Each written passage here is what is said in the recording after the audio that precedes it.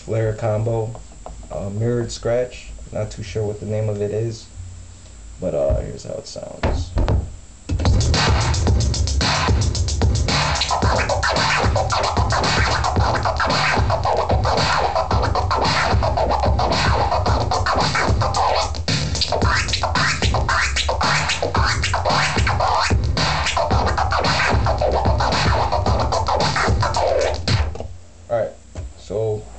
This scratch is a mirrored scratch. It's broken down into two parts. Um, basically, what you're doing in the first half, you're mirroring in the second half. Um, I learned this trick by accident actually. I was doing double click flares, doing all sorts of flares, combos, whatever, on this actual beat, and I ran into it. Uh, I, I, I didn't know what the fuck I did, so I took the camera out, recorded it, and broke it down. Um, I think I seen uh, Tyra from Saigon doing it with delayed flares, which um, it actually sounds like a delayed flare and a fl- double click flare kind of together, sort of. Here's how it sounds. Um, delayed flares would sound like this.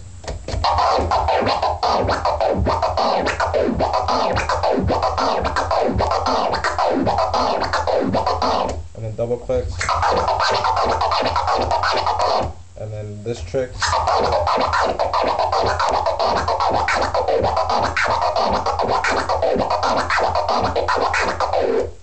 Alright, so here's how the trick works. You start with a fader open. Um, you're going to double click forward, double click back, one click forward. That's the first half. Then you're going to double click back, double click forward, one click back. So here's how it looks without a without the sound.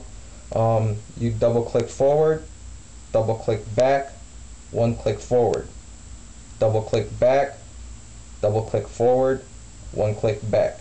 Here's how it sounds with the sample. Or here, I'm gonna do it with the fader. Double click forward, double click back, one click forward, double click back, double click forward, one click back. Here's how it sounds. Double click forward, double click back, one click forward, do it all over, again in reverse. Double click back, double click forward, one click back. Double click forward, double click back, one click forward. Double click back, double click forward, one click back. Double click forward, double click back, one click forward. Double click back, double click forward, one click back. Oops.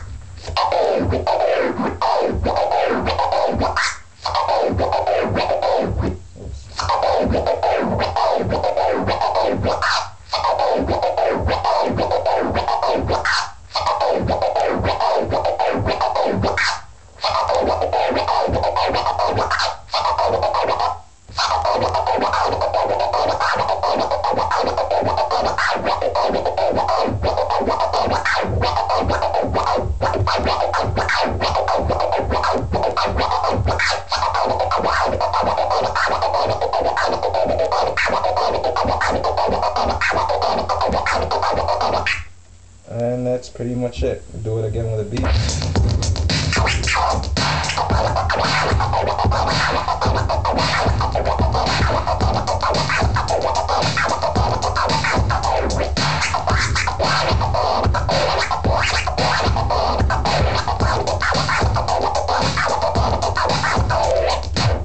That's uh, flare combo some sorts.